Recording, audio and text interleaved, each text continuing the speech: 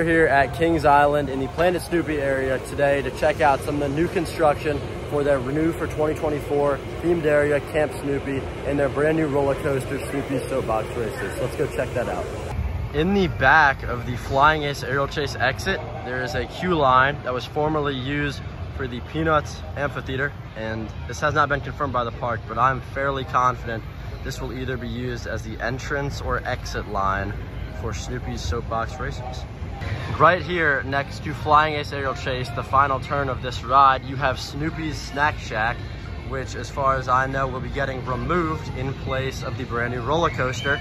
And the roller coaster will take up this plot of land, go all the way over there towards those umbrellas that are covering the seating area. And this will be the area for the new roller coaster right here next to the Woodstock gliders and taking up all of this new area in Planet Snoopy. Also, a bit of a clarification. This area will not be replacing Planet Snoopy. This will be in addition to Planet Snoopy.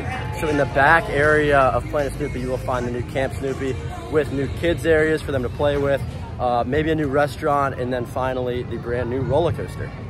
Back here by the amphitheater that will still be here and is not getting removed, you can see where the brand new children's play structure will be in this pathway kind of here. As you can see in the animation, looks like a very solid area and a welcome addition to the new Camp Snoopy. Now, there is not much construction going on, but I'm sure that that will be starting in the coming weeks and months during Halloween Haunt, Winterfest, and especially during the off season. However, this is all we got right now. Looking pretty good. Excited for the refresh in 2024.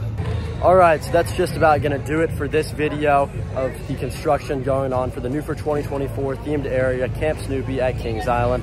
I know there isn't too much going on, however, I'm sure the construction will be progressing soon, and I'll be sure to update you guys whenever that does happen. Thank you for watching this video. I'm Hangtime Thrills, and I'll catch you guys next time.